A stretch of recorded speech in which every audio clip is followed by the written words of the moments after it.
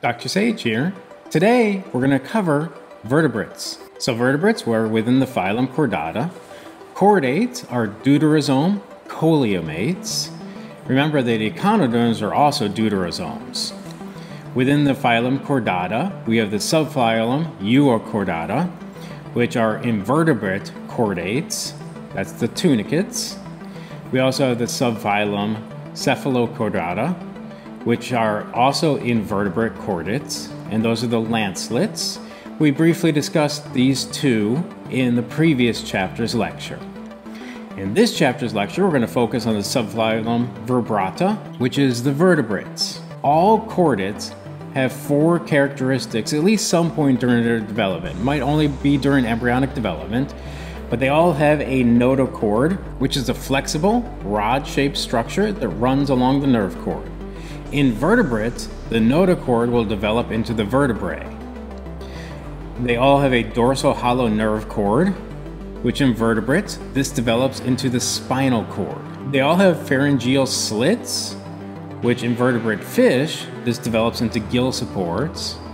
While in tetrapods, tetra, that prefix means four, pod means limbed, so these are four limbed animals. So in tetrapods, the pharyngeal slits develop into parts of the ears and tonsils.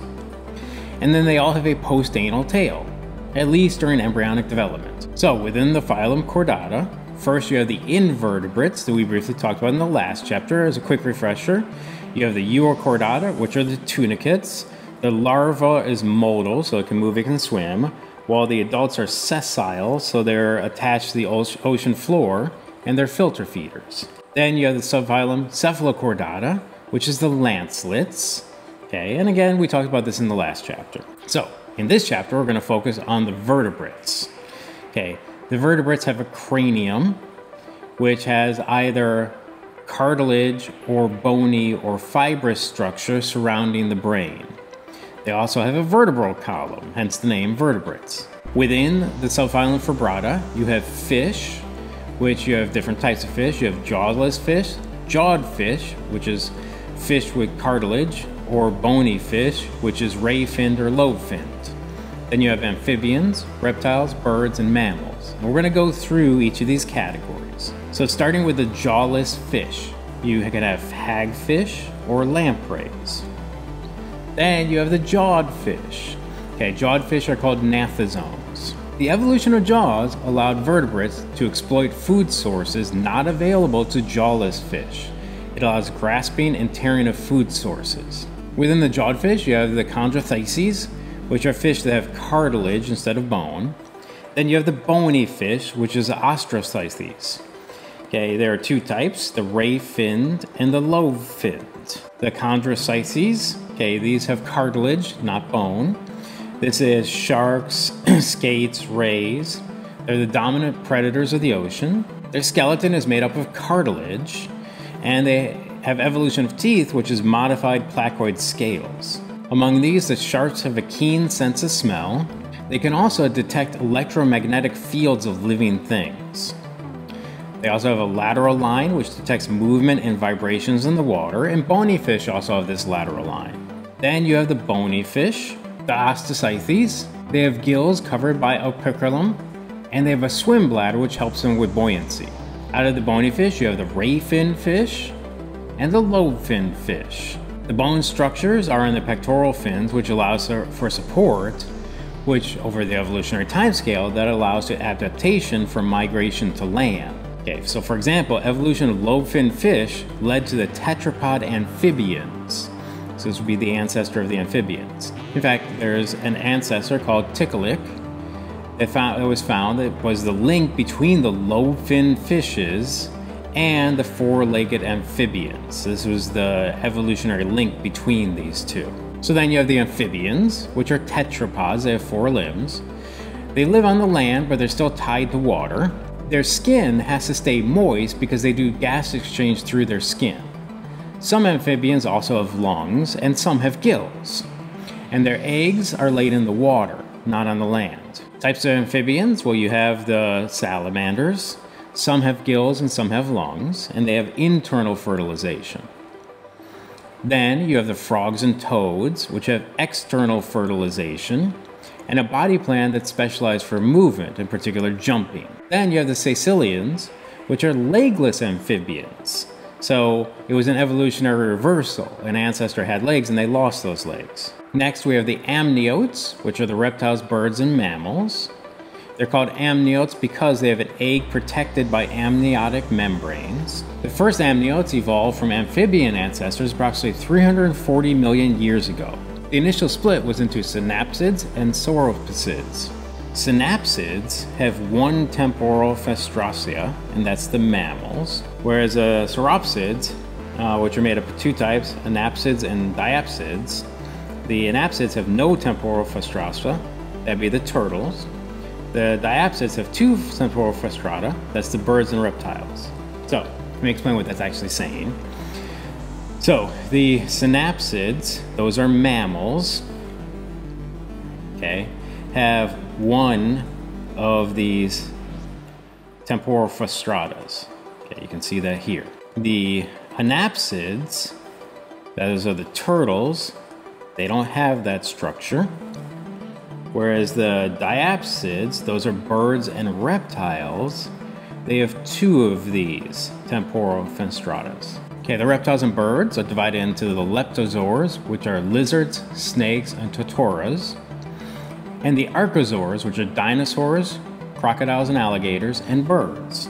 Okay, the reptiles are tetrapods, four limbs, although snakes have secondarily lost their limbs. They have scaly skin, and they're ectotherms, which means their body heat is dependent upon the environment. That's why you see things like snakes and alligators laying out in the sun to generate heat to warm up their bodies. Then you have the dinosaurs, which are the dominant vertebrates until 65 million years ago.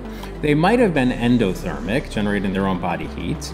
There is evidence of paternal care, and dinosaurs are considered to be more closely related to modern day birds and crocs, and not as much to other modern day reptiles. So within the reptiles, you have the crocodilia, which are the crocodiles and the alligators. You have the tuataras, which there's only two living species, which are living in uh, New Zealand. Then you have the squamata, which are the lizards and the snakes.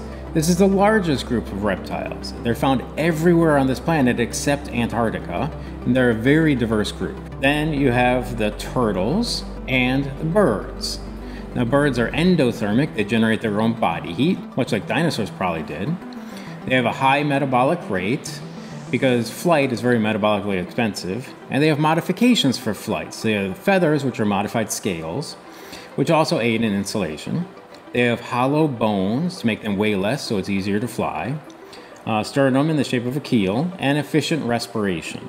Now, the evolution is still a little bit unclear, but birds are more closely related to dinosaurs than to modern day reptiles. In fact, you can see this fossil here is of Archaeopteryx, which is an important fossil because it was the intermediate species between dinosaurs and birds. In other words, the dinosaurs did not all fully go extinct. Some of them evolved into modern day birds. Next, we have mammals. Okay, mammals are endothermic, generate their own body heat. They have hair, they have mammary glands, so they produce milk, and they have uh, types of teeth which indicate what type of diet they have. Among the mammals, we have monotremes, which are the platypus and the echidnas. These are mammals that lay eggs, and they have leathery, like turtle type eggs. They have no teeth. Then we have the marsupials. So in the marsupials, the embryo continues development in a pouch. You find these mainly in Australia, where they have lots of marsupials, like kangaroos and koala bears. However, in North America, we only have one species of marsupial, and that's the possum. Then you have the eutherians, which are most of the mammals. These are the true placental mammals.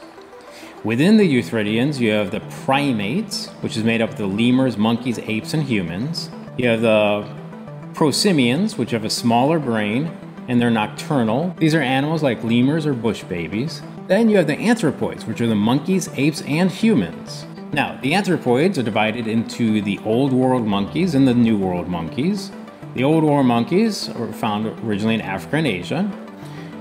Apes, which have no tails and spend most of their time on the ground and they're more intelligent. Chimps, which is one of the human's closest living relatives.